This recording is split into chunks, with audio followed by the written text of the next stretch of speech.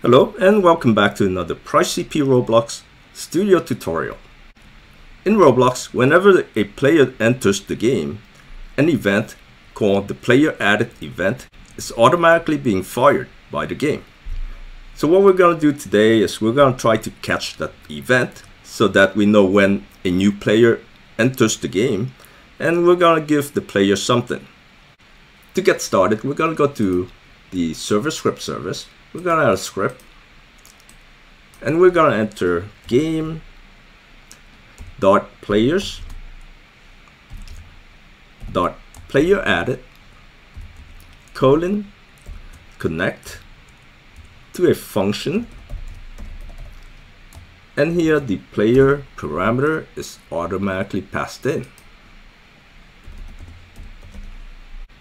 Next we're going to declare a local variable, local let's call it folder. So basically we're going to give the player a folder with the player's name on it when they enter the game. So we're going to set folder equals to instance dot new and the type is going to be folder and we'll set this folder to the parent which is the player right? So this player is being passed in from the player added event, and that's that's the player that we're gonna set the we're gonna set that player to be the parent of this folder. And now just rename the folder to the player's name. So folder dot name equals to player dot name. Again, that's the player that is being passed in from the player added event. Let's now play and take a look.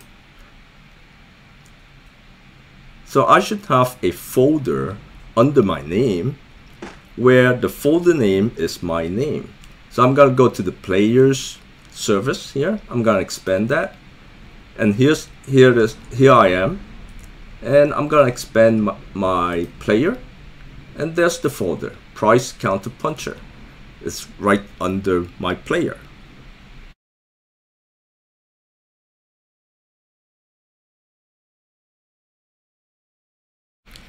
So that's how you do a player added event in Roblox. Thank you all for watching and we'll see you next time.